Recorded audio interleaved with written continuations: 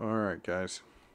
Um, so what this video is about is basically I've been messing around with Master League now for um, a little while, and uh, what I've noticed is that there's a little challenge with the player progression system. Not challenge in the sense that it's um, doesn't work or, or something like that, but it's it's really difficult to understand. Um, you, know, when you take a look at training, what specific players are going to become, and um, and and how to get them uh, to where you want to be. So, I want to uh, to kind of go through a little bit of the training portion of this, and I'm assuming that you guys already know how to do this. There's a bunch of videos out there on how to train your players. Um, specifically, I'm going to talk about focus training and um, and the things that I look for. So, firstly, what I want to do is um, you can see if I select. Um, let me take a look. Gomis. Gomis been he, he's been amazing for me. Um, I got him as a regen, 16 years old, and um, and and he is a poacher by nature. So um, when you look at this statistic here, or list of statistics, you can see that, you know, offensive awareness, uh, ball control, you know, high on the finishing, high on the kicking power, on the physical contact, um, all really, really good things. Um, so, and, and the non-dom leg precision there, which is basically, you know, what happens if he uses his, um, his left foot because I believe he's he's right-footed, and uh, and vice versa. If the player's left-footed, then you know that's about using their right foot. Um, and so when I when I saw this player and I, I wanted to um, try and fit him into my team, one of the things that um, was really important to me was one that they had physical contact um, and and a little bit of stamina, um, but then also you know conditioning uh, because that's going to give me the best. Um, uh, it, it gives me the ability to, to have the player on form all the time or have a, a better likelihood of having, the player on form. Um, but the big thing for me was getting him um, some skills. And uh, if you take a look at his skills, so, you know, cut behind and turn, never use it. Heading, awesome. Long range shooting. This is one that I added um, to to his skills. And essentially, the way that I added long range shooting is um, under finishing and um, I think it's kick power. And, uh, and and you know you can actually see. Um, so if I go to take a skill training, um, and go to long range shooting, what you see here is it says offensive awareness 80, kicking power 80. So when I got Gomis, I had to go in and train um, Gomis, and I, and I, I decided to use the focus training. You can see if I go back here, you can see I use focus training on every single player, and I explain I'll explain why that's the case um, as we work through it. But basically, I used focus training to um, firstly build up his physical contact a little and his stamina and his jumping. Um, so if you go here and I reduce these and go to strength, you'll see, um, you know, this gives me jumping, physical contact, and stamina and industry, injury resistance. And the big thing here, honestly, is that physicality and physical contact is such a big part of the game this year, uh, in my opinion. And, and I'm not an expert, but this is just what it feels like for me. Um, I need to have a player that can handle a physical challenge or altercation. And so physical contact's a big deal. So I need a striker that has, I would say, probably at least 75 around there physical contact to begin with.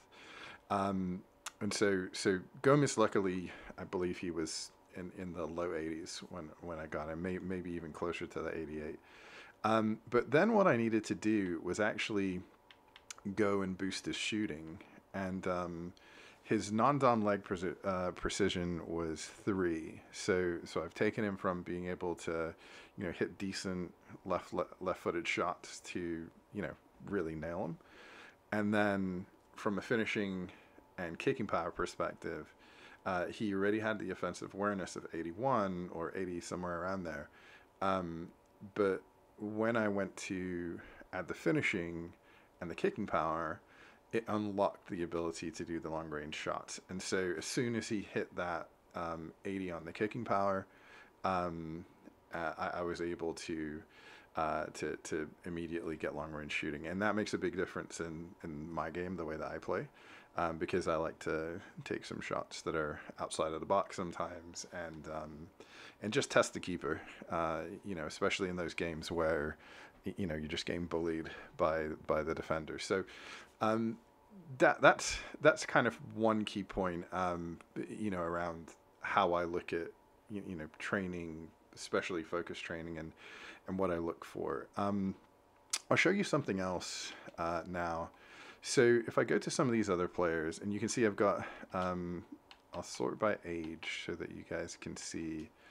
Um, I have a lot of really young players, 16, 17, uh, 18. And so what I basically did was I started off in the bottom division. So I took, um, I, I went with Newcastle, but I took the kind of Konami team, right? Um, so the PES United or, or whatever it is. And I did it because I wanted to challenge. I, uh, last year, I was able to play on Legendary and, you know, win probably 40% of the time. And uh, this year, I'm playing on Superstar. I feel like this year it's a lot harder. Um, I cannot, I, I, I get whipped in Legendary now, so especially with the squads that I have. And um, and so you, you know I, have I've tried a different a couple different builds on how I've done uh, squads, and and what was really interesting for me was um, I realized that starting in a lower league, I was getting really pushed around by a lot of the um, lower league teams, and um, I'll just kind of show you uh, if you take a look at comp- competition info.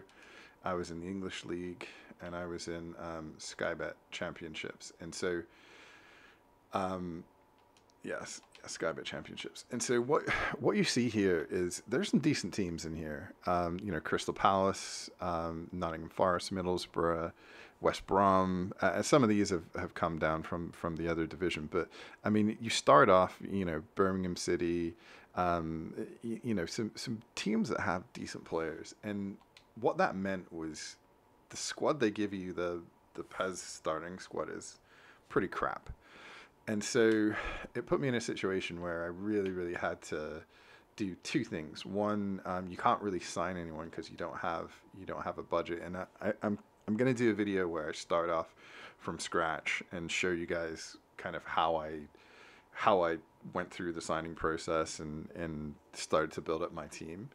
Um, but ultimately, where where you get to is you have to make a decision between um, whether you're going to loan a bunch of players or whether you're going to develop a bunch of players. And so, um, in my negotiations, I always have a couple players that I'm loaning. So, you know, I've got two big time players here that I'm loaning.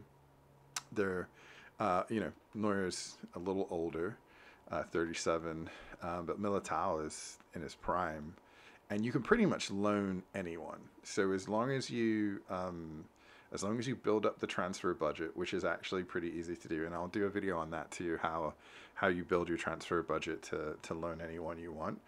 Um, but you can see here, 350. I could loan Messi, Ronaldo. I could loan everyone I wanted to, and have a team full of superstars. I wouldn't own them, but I could play with them for a season and and probably get close to being able to win everything. Um, but uh, so so anyway, you, you, have to make a decision on that. And and what I did was, um, the first season, um, you do get some recruits that come in. I think about halfway through, and what you'll find about those recruits is they're they're not very good. Um, but ultimately, um, at the end of the season, if you make it through, you'll actually get some pretty solid um, younger players. And so, and, and I feel like season after season, it might be because, you know, after the first season, you really don't have that many players. And after the second season, your squad's a little better. And by the third to the fourth season, your, your, your squad's pretty stacked. So, so the younger players that come in, you're only selecting the best ones. Um, but the way, the way that I did it initially was I went in and I selected, um, so you can see I have all these players on, on the loan list, right? Pretty much all my guys are on the loan list. And and what that does is it gives you the opportunity to not sign a player, but it puts that player into the loan pool, so it makes it available for other teams to loan. And then before that, the, a team. So if you look at Ang- Angel here, um, I if I accept the negotiation terms for this player, what it's going to do is it's going to, um, well, I, my squad's full, but so I can't do it. But um, but what it does is it gives me the ability to accept the terms and loan them as if they were on my team. And all it, all it does is it signs them, and you can see um, on the right hand side of the screen there it says market value, and then it says first annual salary. So that's um, as long as I have that salary available, I can sign them. They come into my team and loan them out. Now that does two things. Uh, the first thing it does is it gives me the transfer fee. So uh, five point one seven five six one zero. That's the transfer fee that I receive for loaning the player out. So that's awesome. It goes right to my transfer budget. I can go buy someone else as long as I have a salary budget. Um, but the second thing it does is it gives the player the option to essentially go out and you see this as a six month loan. You can see it in the bottom right hand corner. Um, so so it's a six month loan and that player essentially, you know, hope, hoping that they get playing time and the team they're going to, they should. Um, they get to play for six months and kind of train up a little. And what that does is it allows you, um, as you go into, uh, sorry, as you go into your training, um, you can set a set a training for them. Um, and uh, and and one of the things, so one of my favorite players in the game, and I know this sounds crazy, is this guy, Michael uh, Michael Antonio, and um, the reason being is he's just a physical beast. So, um, you know, when I sent him away to loan, he went from I think it was like 68 to 71 or something like that, and um, what it did was it allowed allowed him to kind of build up his uh, a little bit of speed, a little bit of acceleration, kind of some general skills, and then when he came back, I really have been pumping the physical contact piece into him, and and so um, it gives you that kind of jump start to go off and um, and have a player kind of just build enough skills that you can use them in your first team, and then when you come back, you can do this focus training um, that, that I like to do. And, you know, specifically, I've, I've chosen the physical contact piece of this. And, and that gives you the ability to, um, to, to then start using them in your first team and, um, and ultimately, uh, you know, start to pick some skills. Um, Navas is another great one. So I got him the beginning of this year. Um, I mean, dude's fast as hell but uh, you know he's got no physical contact. Player touches him, they can pretty much bounce him off the ball. Um, what I wanted to do with Navas was I wanted to um, specifically use him uh, uh, as a right back, as an attacking right back. But for me, the conditioning is such a huge part, and and so you know he was a, I think he was a five maybe, and um, and so I've been training him all year. He's now a six um, I'll do a video on how uh, training progresses from week to week, match to match, and then I think uh, I'll probably do a video on um, what happens if you skip matches versus play matches, and um, and what happens to the same player. So I'll run a couple leagues and, and track the stats there um, if that's something that you guys are interested in. So um, anyway, uh, just something that I thought thinks really interesting on the focus training and how to develop players. And uh, I want to do a series on this. I, have been looking for someone else to do it. I haven't been able to find one. Doesn't mean there's not one out there. Um, but that's definitely something I want to do. So um, yeah, I mean, if this is interesting, uh, be interesting to hear what you want to say, which bits you want to focus on. Um, and happy, I, will track the statistics of uh, the player growth week by week so you can see how they move and, and what different types of training do. Um, I think focus training for me has been one of the the most impactful types of training to uh, to to get a specific area for player usable. Um, and so uh, so I'll, I'll, go through a couple couple different um, points as I move forward. All right, excellent. Thanks, guys.